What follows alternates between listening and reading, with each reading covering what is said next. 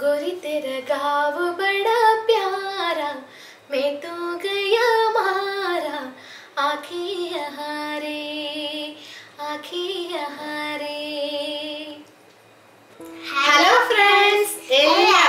എല്ലാവർക്കും ഫാമിലി കഫേയിലേക്ക് സ്വാഗതം. ഇന്ന് എന്താ ലജു സ്പെഷ്യൽ ആ ഇന്ന് കോവയ്ക്ക വലത്തിയതാണ്. വളരെ ടേസ്റ്റി ആയിട്ടുള്ള ഒരു വിഭവമാണ്. അപ്പൊ അതിന് എന്താണ് ആവശ്യം പെട്ടെന്ന് പോയി നോക്കിട്ട് വരാം. അപ്പോൾ നമുക്ക് ഇത് ഉണ്ടാക്കാനായിട്ട് ആവശ്യമെന്ന് വെച്ച് കഴിഞ്ഞാൽ ഒരു പത്ത് കോവയ്ക്ക ഞാനിവിടെ എടുത്തിട്ടുണ്ട്. പത്ത് വലിയ കോവയ്ക്കയാണ്. അത് ഞാനിവിടെ ഒരു എട്ട് പീസ് ആക്കിയിട്ടുണ്ട്. സൈസ് വലുതായതുകൊണ്ട് ഞാനൊരു എട്ട് പീസ് ആക്കിയിട്ടുണ്ട്. നമ്മുടെ ഇഷ്ടാനുസരണം കട്ട് ചെയ്തെടുക്കാം. ഇനി നമുക്കതിലേക്ക് ആവശ്യത്തിനുള്ള കാശ്മീരി ചില്ലിയാണ് ഞാനിവിടെ എടുത്തിരിക്കുന്നത്. സാധാരണ മുളക് പൊടി നമുക്ക് യൂസ് ചെയ്യാം. പിന്നെ വേണ്ടത് അര ടീസ്പൂൺ മല്ലിപ്പൊടി. പിന്നെ വേണ്ടത് ഒരു കാൽ ടീസ്പൂൺ മഞ്ഞൾപ്പൊടി. പിന്നെ വേണ്ടത് ജിഞ്ചർ ഗാർലിക് പേസ്റ്റ് ഇത് നമുക്ക് ആദ്യം ജിഞ്ചർ ഗാർലിക് പേസ്റ്റ് ഇട്ട് കൊടുക്കാം. അത് നമ്മളൊന്ന് ജസ്റ്റ് ഒന്ന് മിക്സ് ചെയ്തിട്ട് വേണം. പിന്നെ മസാലകളെല്ലാം ചേർത്ത് കൊടുക്കാനായിട്ട്.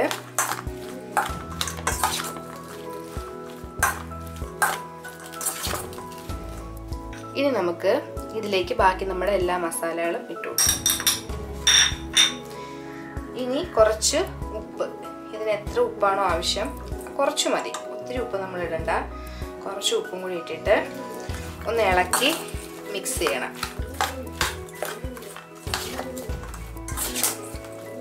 അപ്പോൾ ഞാനിവിടെ എല്ലാം മിക്സ് ചെയ്ത് വെച്ചിട്ടുണ്ട്. ഇതൊരു അഞ്ച് മിനിറ്റ് നമ്മളൊന്ന് വെച്ചിട്ട് വേണം നമ്മൾ ബാക്കി പണികൾ ചെയ്യാനായിട്ട്.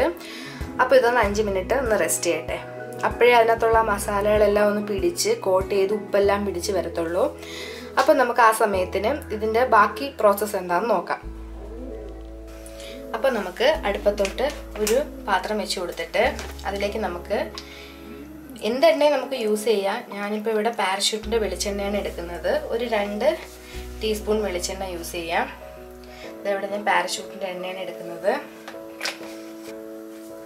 അപ്പോൾ എണ്ണ ഇനി ചൂടായിട്ട് വരുമ്പോഴത്തേക്കും നമ്മളതിലേക്ക് രണ്ട് വറ്റൽ മുളകും ഒരു കാൽ ടീസ്പൂൺ കടുകും കൂടി നമുക്ക് ഇട്ട് കൊടുക്കാം.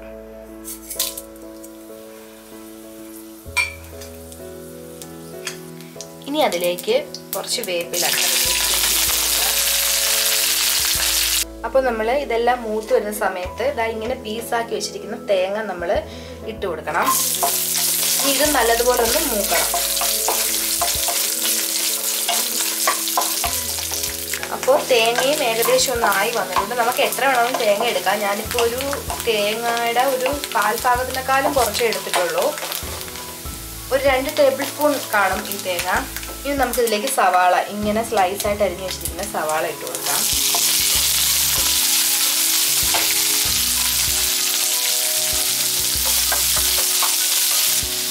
ഇനി നമുക്ക് കുറച്ച് ഉപ്പിട്ട് കൊടുക്കാം. നമ്മൾ കോവയ്ക്കയിൽ കുറച്ച് ഉപ്പിട്ട് കൊടുത്തിട്ടുണ്ട്. അപ്പോൾ അതനുസരിച്ചിട്ട് നമ്മൾ ഉപ്പിട്ട് കൊടുക്കണം. ഇനി ഇത് നല്ലതുപോലെ ഒന്ന് വഴഞ്ഞു വരണം. നമുക്ക് വേണമെങ്കിൽ അടച്ചു വെച്ച് വേവിക്കാം. ഇല്ലെങ്കിലും പ്രശ്നമില്ല. അപ്പോൾ ഇത് നല്ലതുപോലെ ഒന്ന് വഴഞ്ഞു വരട്ടെ. അപ്പോൾ ഇത് ഏകദേശം ഒന്ന് വഴണ്ടി വരുന്ന സമയത്ത് നമ്മൾ ഒരു പിഞ്ച് മഞ്ഞൾപ്പൊടി ഒരു പിഞ്ച് കുരുമുളക് പൊടി ഒരു പിഞ്ച് ഗരം മസാല. എല്ലാം വളരെ കുറച്ച് മതി. ഇത് ചേർത്ത് കൊടുക്കണം.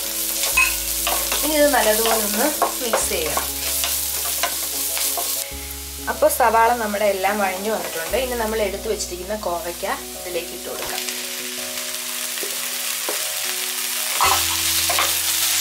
ഇനി ഇത് നല്ലതുപോലെ ഒന്ന് മിക്സ് ചെയ്ത് യോജിപ്പിക്കണം. ഇനി നമ്മളിത് അടച്ചു വെച്ച് വേവിക്കണം. സിമ്മിലിട്ട് നമ്മൾ നല്ലതുപോലെ അടച്ചു വെച്ചിട്ട് ഇടയ്ക്കിടയ്ക്ക് ഇളക്കി കൊടുത്ത് നമ്മളൊരു അരമണിക്കൂർ മാക്സിമം എടുത്താൽ മാത്രമേ നമ്മുടെ കോവയ്ക്ക് നല്ലതുപോലെ വഴഞ്ഞ് വെന്ത് വരത്തുള്ളൂ. അപ്പോൾ നമുക്കിതിങ്ങനെ ഇടയ്ക്കിടയ്ക്ക് ഇളക്കി കൊടുക്കാം.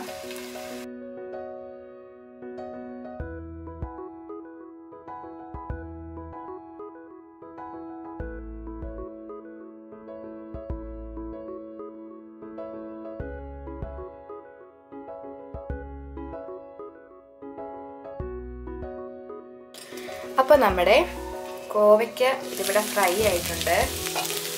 നല്ല ടേസ്റ്റാണ് ചോറിന്റെ കൂടെ കഴിക്കാനായിട്ട്. നോൺ വെജ് കൂട്ട് തന്നെ ഇരിക്കും ഇത് കഴിക്കാൻ.